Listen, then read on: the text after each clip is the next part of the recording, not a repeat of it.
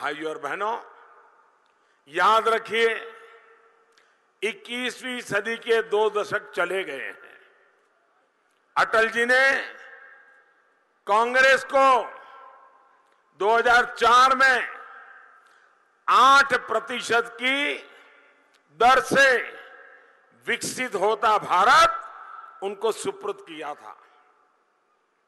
और वो भी एक अर्थशास्त्री प्रधानमंत्री को सौंपा था।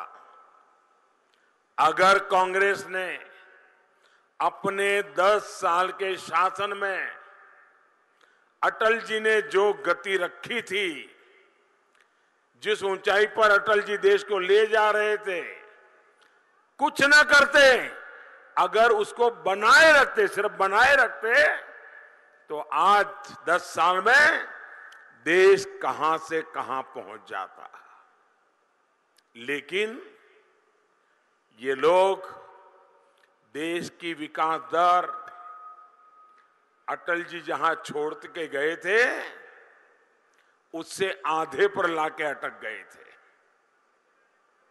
पाँच प्रतिशत पर ले आए।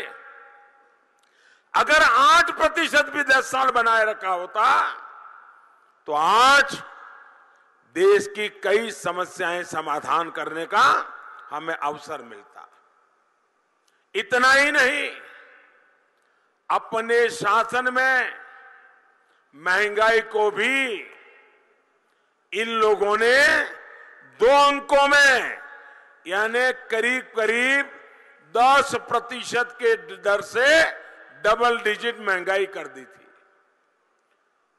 अटल जी ने छोड़ा वहीं से 10 साल में बर्बाद किया और फिर भी 2014 में नए सिरे से मेहनत करना मेरे काम पे आया। ऐसा गड्ढा करके गए थे, उसको भरने की मैंने आकर के शुरुआत की।